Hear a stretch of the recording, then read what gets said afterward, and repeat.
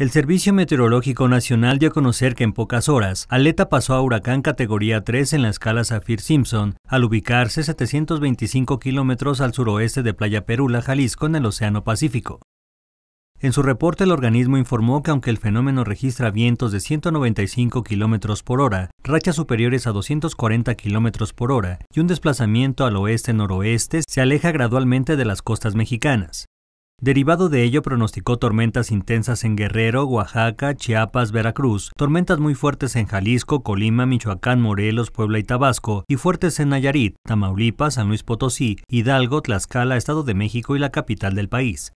Asimismo, previó lluvias con intervalos de chubascos para zonas de Sinaloa, Chihuahua, Durango, Zacatecas, Guanajuato, Querétaro, Campeche, Yucatán y Quintana Roo, y precipitaciones pluviales aisladas para Sonora, Coahuila y Nuevo León.